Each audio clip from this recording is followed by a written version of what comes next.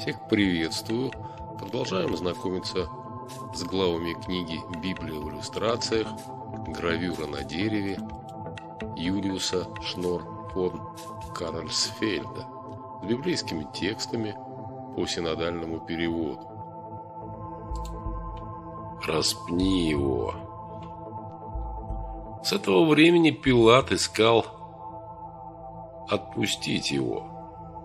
Иудеи же кричали, «Если отпустишь его, ты не друг кесарю.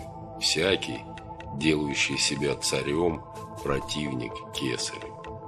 Пилат, услышав это слово, вывел вон Иисуса и сел на судилище, на месте, называемое Лифостратон, а по-еврейски Гавафа.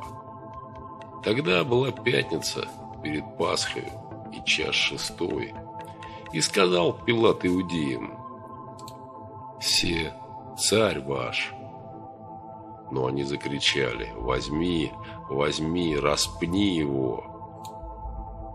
Пилат говорит им, «Царя ли вашего распну?» Первосвященники отвечали, «Нет у нас царя, кроме кесаря». Тогда, наконец, он предал его им на распятие. Текст по книге «Библия в иллюстрациях», гравюра на дереве Юлиуса Шнор фон Каральсфельда с библейскими текстами по синодальному переводу. Пока, пока, до свидания.